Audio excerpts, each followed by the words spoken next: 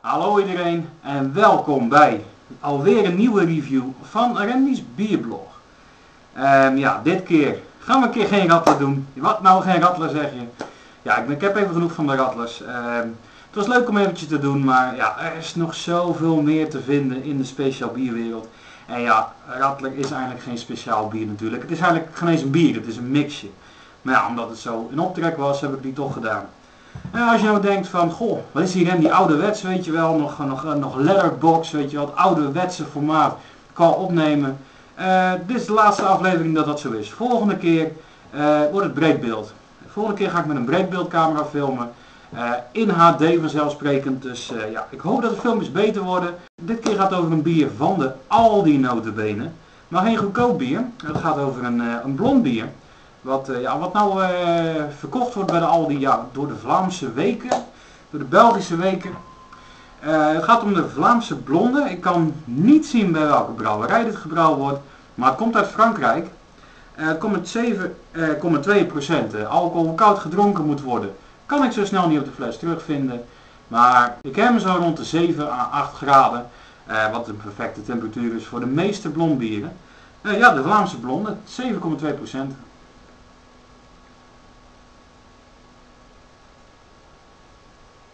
Nou, dit is volgens mij maar een, eh, een tijdelijk bier van de Aldi.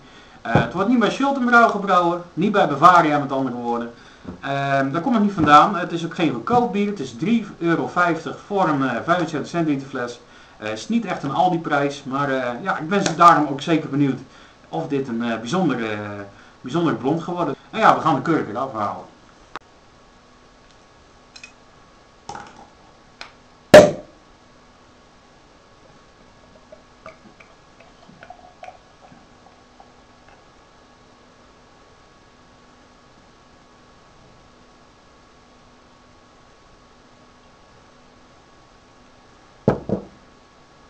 Oké, het bier heeft een uh, typische blonde kleur. Hij heeft ruim drie vingers uh, dik schuim. Uh, ja, ziet er op deze gezicht goed uit in het glas. Ja, en de aroma's zijn als volgt.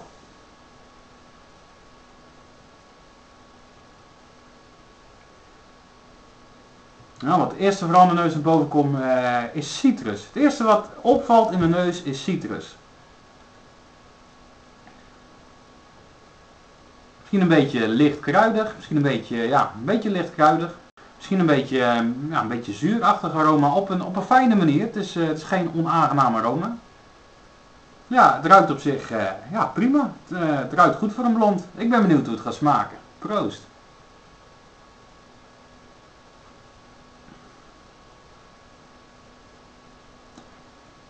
Die citrus komt ook terug in de smaak. Samen met een beetje sinaasappel. Voor mij zat hier ook sinaasappelschil doorheen, voor zover ik weet. Um, een lekkere, bittere nasmaak in de afdronk. Dus die hop is uh, zeker goed te proeven, waar ik zeker ook blij mee ben. Ik had er niet al te veel van verwacht, maar uh, ja, voor de Aldi valt het al helemaal niet tegen. En voor zover uh, ik blond bier op heb, valt het ook niet tegen. Het is gewoon aangenaam blond. Um, ja, wat goed afgewisseld is met een beetje licht kruidig. Uh, deze blond is totaal niet uh, super kruidig, uh, op geen manier. Het is licht, aangenaam gekruid. Um, ja, die, toch die citrus, die sinaasappel, schil proef je ook wel een beetje. Toch een beetje dat fruitige, een beetje dat kruidige. hij is niet echt zoet, hij is meer tegen de zure kant aan. Ja, op een aangename manier zuur hoor. Een beetje zoals het zuurtje in een trippel ook, ook is. En ja, hij eindigt lekker, lekker bitter, lekker scherp. En de smaak blijft ook even in de keel hangen. Uh, tot zover is de alcohol ook niet goed te proeven, dus zijn allemaal positieve punten.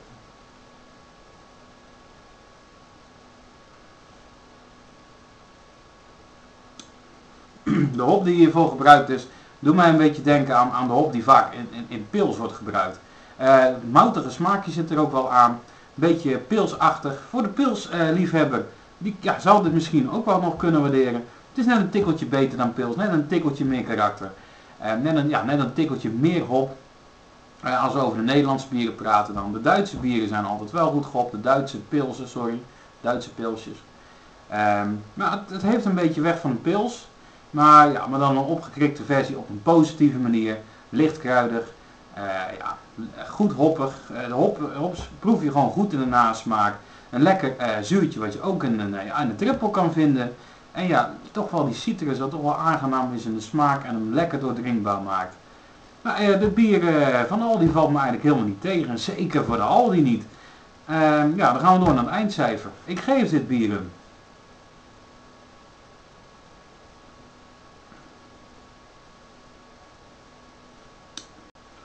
Een 7,5. en die 7,5 reken ik ook de prijs mee. Hij kost 3,50. Dat is voor een, blond speciaal bier niet echt duur.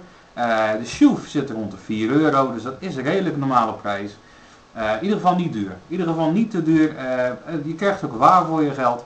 3,50 is deze fles zeker te weten waard. De prijskwaliteit zit gewoon goed. Nou, als je het bier kan vinden bij plaatselijke Aldi, ja, geen reden om niet aan te schaffen. Proost! En ja, nog steeds op de gezondheid. Drink niet te veel, maar ook zeker niet te weinig.